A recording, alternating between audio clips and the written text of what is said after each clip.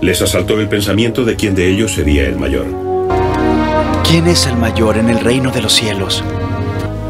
Pero Jesús, conociendo sus pensamientos, tomó a un niño, lo colocó a su lado y les dijo, Así que cualquiera que se humille como este niño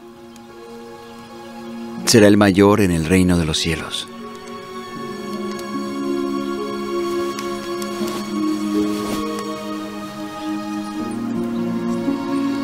Y quien reciba a un niño como este en mi nombre, me recibe a mí. Tomando entonces Juan la palabra, dijo, Maestro, había uno que sacaba demonios en tu nombre, pero no nos sigue. Se lo prohibimos porque no nos sigue. No se lo prohibáis, porque no hay quien haga milagro en mi nombre que luego pueda decir mal de mí. Si no está contra nosotros, por nosotros está.